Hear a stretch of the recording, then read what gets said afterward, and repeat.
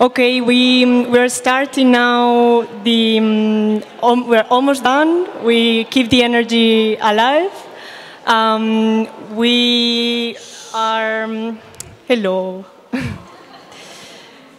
Um, yeah, so I have the pleasure to introduce you to three members of the European Commons Assembly, which is uh, an open process and self-organized initiative that is being uh, running since, since, December of uh, 2016, coming together and trying to develop common strategies and a common agenda on commons uh, across Europe.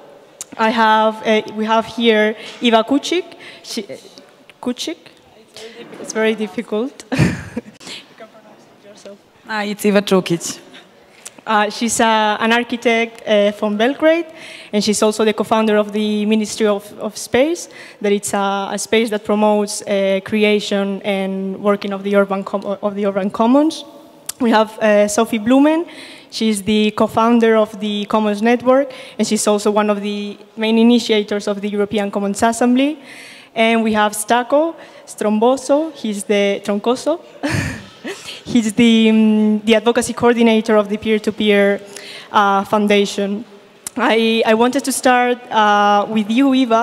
If you could maybe uh, explain us, us uh, a little bit more about the uh, Ne davimo Beograd movement. Um, it, is a, it was a, um, a, social movement that was uh, trying to stop the construction of a urban massive building in, in Belgrade. You organize uh, demonstrations, you self-organize, um, an, an, initiative to try to stop the, the institutions to change the law to actually build this uh, massive building. And this, uh, this initiative then decided to present itself as a municipal candidacy for the, for the city of Belgrade. And I wanted to know what were the claims of, uh, from the commons perspective that Ne davimo Beograd was doing, and why now it's thinking in, into constituting itself as a, um, as a municipal, as a municipal uh, platform candidacy. Okay, thank you, Marta. Uh, well, um, I actually, uh, Ministry of Space Collective initiated with a few more individuals and collective a very big uh, initiative called Ne dajmo Beograd or Don't Let Belgrade Drown we as a Ministry of Space um, started to work on different things that are related to the city development in 2011-10 uh, by addressing uh, the, the importance of right to the city and citizens' participation in urban development and also by building alternative models for uh, public spaces and public property, how they can be uh, run and used, uh, but not also only like in practice, like guerrilla style by squatting or entering the abandoned property, but also uh, with uh, analyzing legal frameworks and plans and um, institutional frameworks in order to advocate and to, to uh, make analysis, policy proposals for different, different things.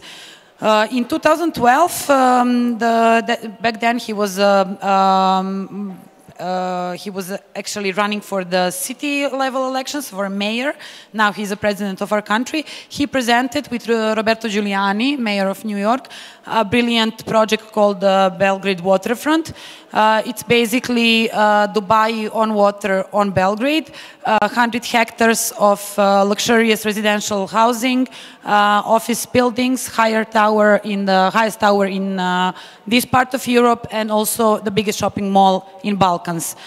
Uh, so when we uh, saw the project, it was clear, and also, yeah, investment will come from uh, Abu Dhabi um, he will give us, the investor will give us 3 billion euros. It's, he will not invest or not, he will give us. Uh, so um, uh, when we saw the project, it was clear that uh, that's the, the, the, city made a decision to go directly into neoliberal development of the city, but also it was clear that there's many shady businesses going around that. Uh, so we started by um, uh, uh, reacting on changes of the plans. That were their first steps was changing of a general plan, then details plan, then different laws. Um, and what was uh, actually what we did was we invited people, 100 people came, and we wrote comments on, um, on general plan together. There were more than 3,000 complaints on the uh, changes of general plan, which never happened in the history of urban planning in Belgrade. But we also brought the choir, self-organized choir, to sing at the public inquiry. And all the media broadcasted about the choir. Nobody mentioned that what's going on um, about the, the project. So we figured out that if we want to address the things, then we have to make kind of scandals. So we did it in parallel with the institutional fight. After a few months, we were banned from every single media, so there were no possibility to speak out loud what was the problems, uh, what are the problems with the, with the project. Then we decided to publish our own newspaper. And uh, step by step, we were building the movement. At the beginning, it was very difficult to explain what's the problem with the project because they brought the investor and our government brought the shiny, beautiful model, and everybody was talking about the aesthetics of it, and nobody went into what's behind it. Uh, and basically, it's a privatization or giving for 300 hectares of city center in Belgrade, like the most valuable land that we have. Something that is very common in the third world countries. Um, and um, in the beginning, from 2014 to 2015, we had a very small protest, around 2,000 people joining, uh, different action in public spaces, um, uh, panel discussions about it, newspaper, um, different radio shows, like whatever we, we could make. And in 2016, during the elections, um, during uh, the election night, uh, part of the city center was demolished by 30 people with balaclavas and uh, like the whole machinery. And uh, nobody could believe that it really happened, like in the middle of Belgrade, like in the middle of the night. Some people were tied up. One of the men who were tied, he died after a few days and that was kind of the, the, the, the moment that everything, uh, turned, everything was turned upside down. Uh, so we started organizing protests, and the first protest was just like inviting people to come to the street. There were maybe 5,000 people, and every two or three weeks we were making new protests. So at the end we had like two, 20 to 30,000 people on the street. Um, the, the people who were, um, who were talking from the stage, it was a track, there were also academics, researchers, experts uh, in urban planning, but also actors and activists and random people from different social medias. Um, in 2000, at the end of 2016, after the massive protest, that was clear that we have to uh, take back the city. So that we, the, the, the, the fight is about our city and we will fight for it. So the struggle is uh, uh, around the commons, around the feminization of the politics, around democracy, around the housing right, around to uh, every single person that lives in fear.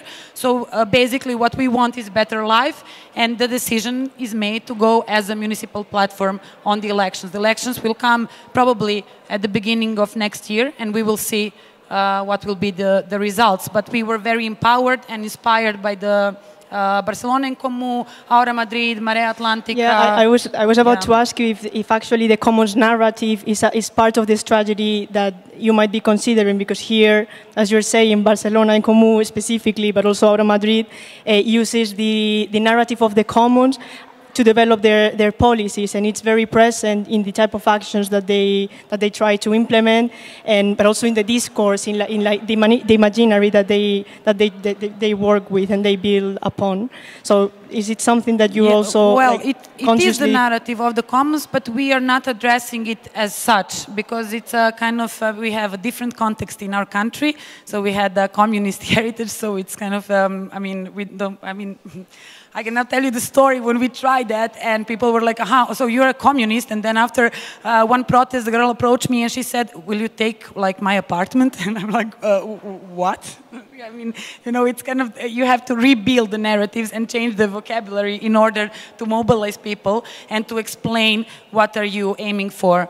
So that's the idea is behind, but you have to build it step by step and moving beyond the narrative and actually going to the concrete actions and the concrete practices, I think the European Commons Assembly, it's, um, it's, an, it's, an, it's, an, it's an initiative that has a lot, a lot to say about this. In the past three days, the European Commons Assembly has been coming together in Media Lab Madrid to try and continue developing this common agenda of, of, of commons hundreds of, of commoners have come to, to the assembly to try and be working together intensively in these days.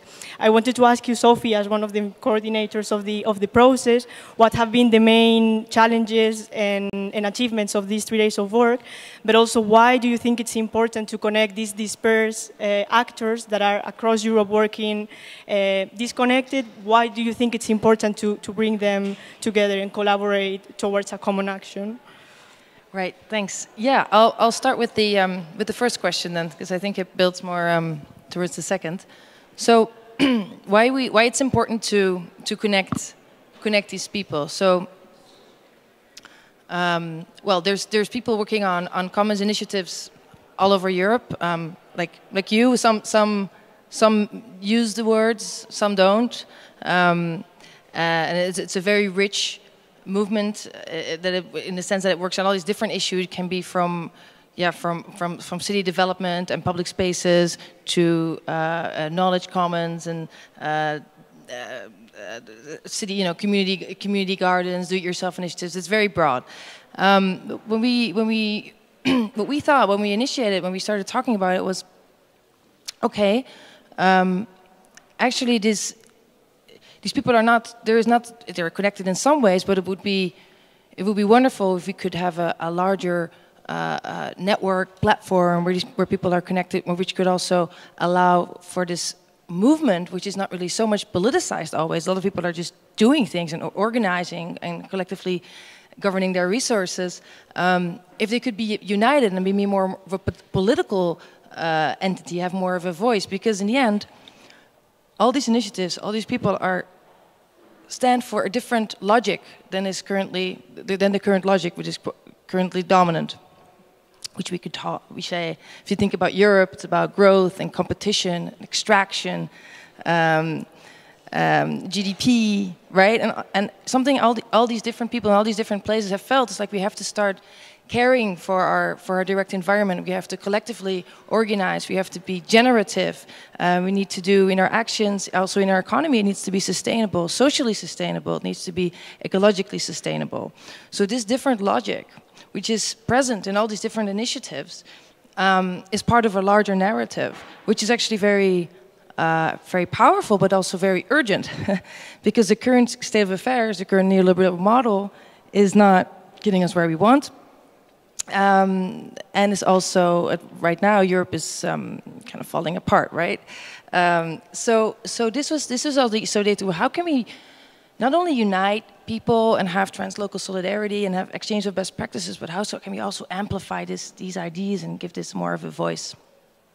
Um, uh, yeah, and then just to add um, another more sense of uh, before I go into what we what we've worked on, more sense of urgency. I think. Um, if you think about, and I think a lot of uh, this has been one of the topics that's been discussed here a lot, Europe and um, the state of affairs of Europe and the, uh, the, some of the states retreating into nationalism, the, the, waves of xenophobia, and I think this is due to, um, to some extent, to a loss of feeling of sense of a loss of control people have, which is real, which is real. They have a sense of loss of control over over their lives, and um, uh, this is I mean, due to many things. It has due to globalization, to centralization, and Europeanization is also a centralization of power, and decisions are being made further away. This is a real, this sense of loss is real, and I think you can have solutions, you can have fake solutions. Maybe a solution, you know, a, solution may come from the far right is nationalism or xenophobia. But yet, but giving people organizing an economy and a democracy that gives people more control over their direct environment and their resources. Um, that's, that's, that also answers that craving for self-determination, and that's also where the commons narrative comes in. So, to go into, so we went to, to, to Madrid. Um, we had an assembly uh, about over a year ago in, in Brussels, where, which was the first meeting, um, where we met in European Parliament and outside of that. And now in, in Madrid, we thought, of course, it's a very uh, rich environment to, to bring people to from all over Europe to also learn from experiences here. Um, and um, which are, which, and, and, of course there's Ahora Madrid, so it's about engaging as well with the municipality. Um, so what we what we we worked on specific issues um, we had a few kind of ideas like what, what is it that we can, what kind of strategy can commoners have in the urban environment to protect and create commons? What could be, what could be proposals to institutions and what could be um, institutional change? What are the institutional changes are needed? These were kind of like these background questions, but we had people working on very specific issues or sometimes less specific issues that were also already determined before we had the meeting, so there were several uh, in a collective way. So there were, for example, there were people working on, on data commons and collaborative economy, which is a kind of is, you know, thinking about the smart city and what the problems are and how you can uh, reorganize that, or people working on the right to the city. Uh, law for the commons was another working group. Um, uh, one was solidarity. Uh, um, so people worked for, for one and a half days in these specific groups to create strategies, proposals, ideas.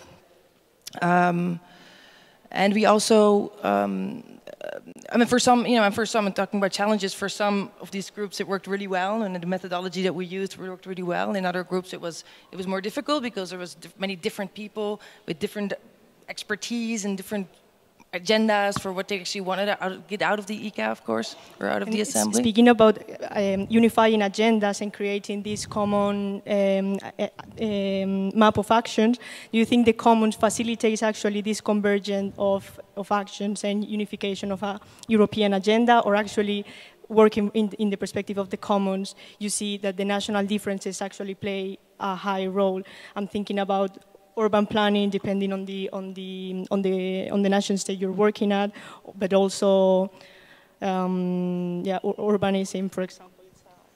So, if, if whether it's a helpful narrative to work within, or whether if it, if it facilitates this creation of a common agenda.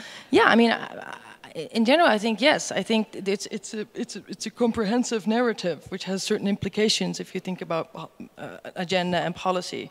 So in that sense, absolutely, yeah.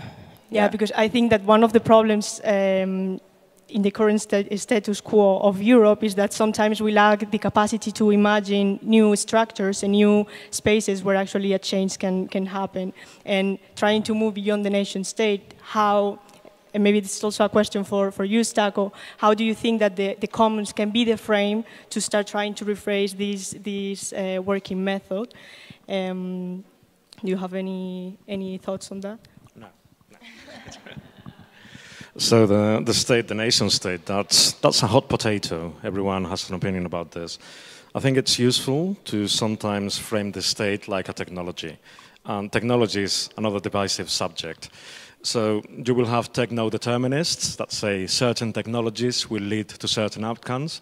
As it's the same with the state. We will take the state and tomorrow we'll proclaim the great nation of the commons or this agenda or not. And we cannot be naive about that. Certain structures do not lead to certain outcomes, but they favor certain interests. So if someone dominates a technology, they can use that for their advantage. If certain powerful groups dominate the state, they can use that for their advantage too. Um, the state is a theater of struggle. And the most valid examples of stateless democracy, this being revolutionary Catalonia, Aragon, the Free Territory in Ukraine, and Rojava, you see that there's a partial collapse of the state because of a war-like situation. So maybe we want to do better and to, you know, how can we bring the logic of commoning to this enabling mechanism? And I think it's useful to see the, if you're familiar with like the triarchy, and the triarchy is the, the state as this mechanism, the market, and the nation as the emerging community. So what we have now is we have a state, a technology that facilitates the interests of the market. And in the emerging community, we have this implicit consent for the hegemony that, this, that the market uses to impose its logic. And it's, it's funny because now with the rise of nationalism, using this emerging community, like having this kind of like runaway feedback loop, where it repeats, you know, like we are the emerging nation and it rises up. And even though that endangers some neoliberal market dynamics, um, the market will always favor fascist-like solutions rather than any redistributive strategy. So how could we turn this around with the commons? Well, we would say that maybe the commons or civil society can be the imagined community. And it can be a transnational imagined community, understand as people that self-organize to create and distribute value according to their own rules. And this sounds really nice, but how do we amplify it? How can we make the commons the attractor that uses the technology that is the state and the technology that is the market to its own ends? Um, as far as politics go, as far as the states, we do have the examples now of the, of the rebel cities, of Madrid, Barcelona, etc. But of course, like you don't just one does not simply scale up. This is this is quite complex. But I think that they do point a way on how things can be done. And what I feel are the failures of vanguardism. Um, so, for example, in Greece, there was a lot of talk of doing more things with cooperatives, with the social solidarity economy, but Greece decided to play with the big boys. And when there was a vote, and all the polls say that people would say yes, and people said no, that was on a Sunday, and the whole of Europe cheered. But on a Monday, we went back to the usual game. Um, you can see it in the failure of Podemos, the relative failure in the local and national elections, as compared to the municipalists who actually won. Um, we'll see what happens with Labour in Great Britain, etc. But you can see that this commons-like dynamics actually can engage with people because I think that people want to, want to participate. But if the commons get the state, I don't think that we would want like a Keynesian solution, you know, to like try and play nice with capitalism or the totally bureaucratic statist solution that, you know, we will have a planned economy. What do we do with the market? Um, once you get power, if you do not hold economic power, um, you're not going to, going to last in that state very long and we also have to be um, we also have to be economically strong. And I think that many people think that the political fight is more realistic than the economic fight, but you also have to see where the economy is going. And if you think about the, um, you know, the, the so-called sharing economy, which is like this cartel for deregulation, etc., and if you think about like jobless recovery, etc., you cannot think so much of laborist solutions, but how can we take ownership of this kind of dynamics? And you know, like right now, it's not so much about seizing the means of production. If the means of production are in your house, if you're an Uber driver and you know, like you're providing the labor and you're providing the capital. So I think that is, it is realistic to think about these things, and we have to, again, with that triarchy, to have both um, markets and the economy and the state amplify the, the logic of the, of the commons. And what do you think can be um, a healthy, if I can use this way, dialectic between the, the commoners that are working in social movements and grassroots uh, movements and those that are actually working in the institutions uh, that have actually arrived to city councils? How do you think this dialectic could or should work? Um, because they're all human beings. And in, in, many cases, like for example, in the example of Madrid, it's actually the same people. And that's actually a problem because there's been kind of a brain drain and you don't see so much direct action anymore because people are engaged in the institutions with the limitations that that, that, that, that provokes. But it's still pretty much the same community. So I think that we need commoners inside the institutions and I feel really sorry for them because I would never want to be in that position. But I think that the dialogue will come naturally. And I think that they have to be honest about their challenges because I know that people also get like a lot of flack. Oh, when we were in the squares, we said that we were going to do this, etc. And these people right now, they're working like 60-hour weeks, and uh, you know they're coming up against this this big wall. And as it was mentioned before, again, like why do we have to stay engage with the state? They can do certain things at the local level, but the big refugees welcome banner kind of tells you that, then at the state level, the legislation does not allow them, you know, to like um, self-organize with, with this act of commoning. Are, are you also having this uh, debate among the members of Nida Belgrade and those that are becoming part of the of the um, of the candidacy? Are you also thinking on how to maintain this um, narrative of the commons and commons actions, how to implement it once, hopefully, you get to the institutions? Uh, well, yes, we had a long discussion about that, and it was clear in one moment that uh, the, the part of the group has an ambition to go as a political platform, and also um, that that's maybe the only way now to deal with the situation that we are uh, in. Uh, we are now in the phase of uh, dividing into the, the ones that will stay on the on this side, and another who will go for the for the politics. Um, I, I, still don't know how it will look like in the future. We had uh, many uh, meetings with uh, Zagreb je naš and also Barcelona en Comú and Cambiamo Messina dal Basso because it's something that we are like familiar with. Um, and uh, basically what we believe is that somebody has to stay on the other side. It's, I mean, it won't work if we all go uh, to the institutions and you have to make a balance. You have to also have a kind of controlling mechanism for those who are entering uh, the world of power and politics. When, when the ECA went to, to Brussels in, in, in November, you were also speaking with some uh, members of the European Parliament about, about this issue. What ideas did they brought to, to ECA and how was the discussion with, with them? How was the exchange with the, with the parliamentarians of, of the Congress? Right, so these were the uh, um, MEPs, the members of European Parliament were part of a, uh, a commons intergroup, which actually was the intergroup on common goods and public services.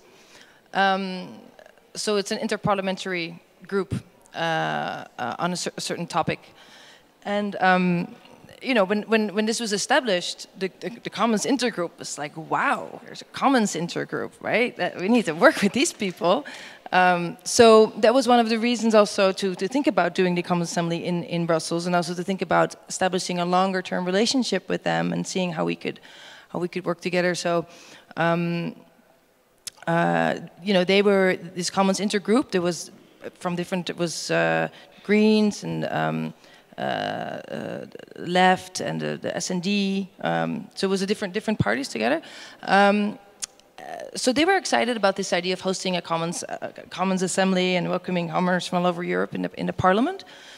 Um, and they so that was it was a nice was just a nice corporation and the idea to, to, keep, to keep working in a corporation has been what we, what we discovered is that actually it's, it's, it's great to have a commons intergroup, but commons is of course a perspective. It's a perspective on reality. It's not an issue. So if you have different parliamentarians working a, on the, one works on energy, one works on transport, one works on macroeconomics, so they actually don't work on the same things. so it's really hard for them even to work together and then to work with us as well has, has proven you know, apart from, you know, incidentally, but on a more long-term exchange base has proved hard. Um, but they, for example, what, they, what, this, what this group of MEPs has, have done have, they didn't uh, succeed, but they almost got, um, uh, in some process, energy voted as a, to be as, recognized as a common good by the rest of the MEP. And I think they only lost by a small, small margin, which was for them a big success to almost changing the narrative, changing the logic of having energy recognized as a common good instead of a you know, commodity. Um, um, I also I want to open the, um, the this moment for for for questions. I don't know if anyone has anything to ask to to to ECA, to the European Commons Assembly. Any questions?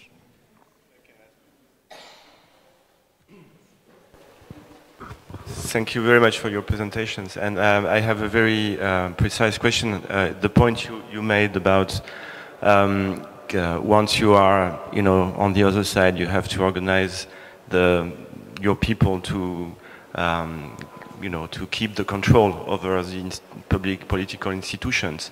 So, I mean, do you have examples, for example, how it works uh, in the Spanish uh, uh, cities where the, the citizens, the municipalities platform have, have taken over the power? Do, do, they, because they've been elected two years ago, so do they do that with uh, civil society, empowering them to take uh, control of them? Yeah, yeah well, um, at least in Barcelona en Comú they say they do.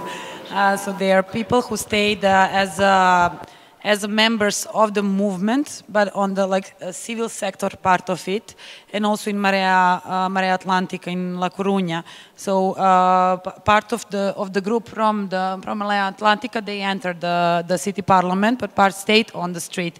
And Zagreb je naš, uh, uh, Zagreb is ours, is doing the the same thing. So they they started as right to the city Pravo na Grad movement, then they split, and part of them, like five members, entered the the city parliament. So um, we, I mean, we have kind of impression that uh, we will also gain some uh, some seats in the in the city parliament.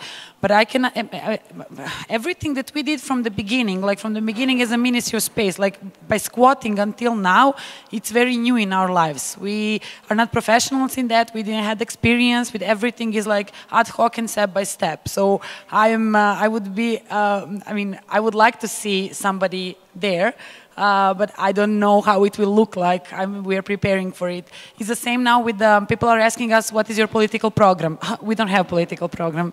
That's, that's actually the truth. So we made offline and online platforms and online forum functions like you can join it and suggest the topics and then we all uh, discuss together and then you build the program together. That's basically the idea. So I don't know what's the best for you. You know, so we have to share it and then build the, the common thing around that uh, together. So I guess it will come um, with, with the future and it will be in next few months. Um, we have time for one more question, and if there's any. Hello, and yeah, thank you very much for all your contributions. I had a question for you all. Um, yeah, I have the feeling that the whole municipalist platform are really active on, in urban areas and big cities, but we're not really thinking about uh, rural areas, and I'd like to, to know how you see maybe the, the evolution, how could we galvanize the, the networks in rural areas as well? Thank you.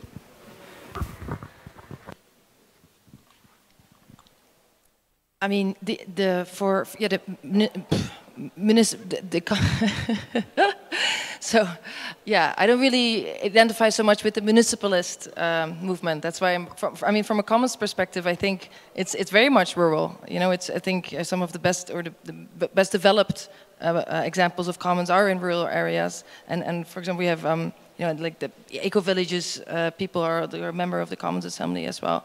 So um, and and the members of the people who are anyway as part of this of part of the of the assembly are I wouldn't say they're very much um, city you know only city based so so that's why I'm like uh, yeah um, but but so for the broader question that you have in mind like how can we make this I guess the success of the municipalist uh, uh, uh platforms how can we um, yeah drive it out or include the rural areas and that, I, I actually, I, I, I, don't know. This is the, my, my answer. I, I wouldn't know. Maybe Stacco has, has, has some thoughts on this.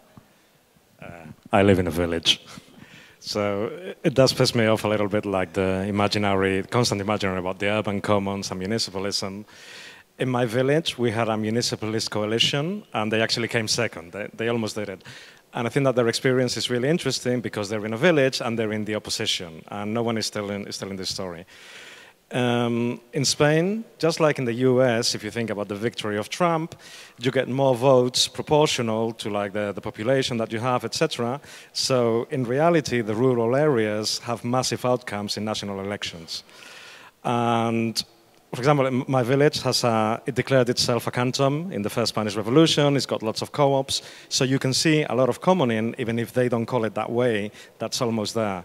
And I think that in rural areas, you can not even explain the logic of the commons, but actually tie it to their practices. And I think that this is a fertile ground for politicization if you think about the Trump phenomenon of going to like all these forgotten places, um, I'll just contrast between like Hillary going, hey, you people are stupid, you should be like me, and this asshole saying, I love you guys. And when they hear I love you, it's like, oh, great, we feel recognized. And I feel that this is a big absence. And again, just the way that it's set up at the national level, it's something that really needs, needs to be worked on. And I feel really strongly about it. So, so thank you for asking. Nothing to add to that. Okay, thank you very much. Thank you very much to ECA for, for being also here um, this evening. Um, I want to uh, invite Lorenzo and, and Miguel Urban to, to, to join the stage. Thank you very much.